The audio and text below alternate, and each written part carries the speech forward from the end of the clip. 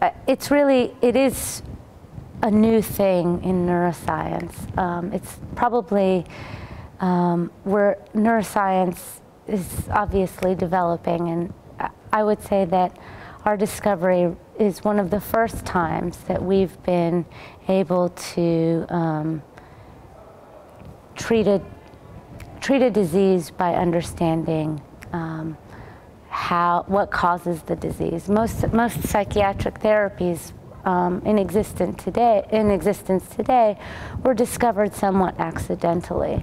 And here is a case where we decided to study Fragile X syndrome with a very specific theory in mind. We said, we, we believe plasticity is disrupted. We predict that it will be disrupted.